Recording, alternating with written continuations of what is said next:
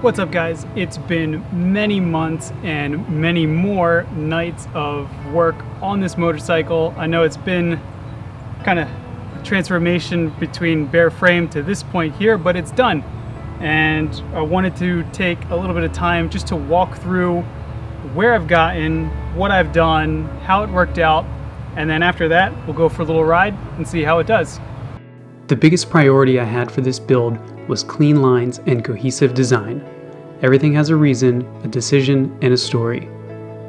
The first choice which set the theme for the rest of the bike was a pair of nice, chunky tires. This is a go anywhere, have fun bike without worries. Following the tires, it was important for me to maximize the clean lines of the frame by deleting anything unnecessary. I kept the filters minimized and the electronics out of sight. The kick-up seat is easily removed to gain access to the electronics box, which is carefully organized to fit everything needed to run the bike. I'm using a smaller lithium ion battery and ran my own wiring harness from scratch. I wanted the absolute minimum controls on the bars, so the switches for turns and lights are integrated into a small plate I made for the Triple Tree.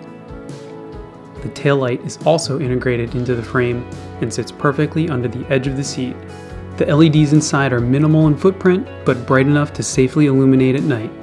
Speaking of light, the first thing most people notice on this bike is the pair of LED light bars I've gone with for headlights. This was another early choice, and I absolutely love the post-apocalyptic tone they set for the front end. Time started up. This thing is totally stone cold, hasn't been ridden in probably about a week, so let's see how it starts up go ahead and turn the fuel on, choke, the ignition. Just gonna give it a sec for the bowls to fill up.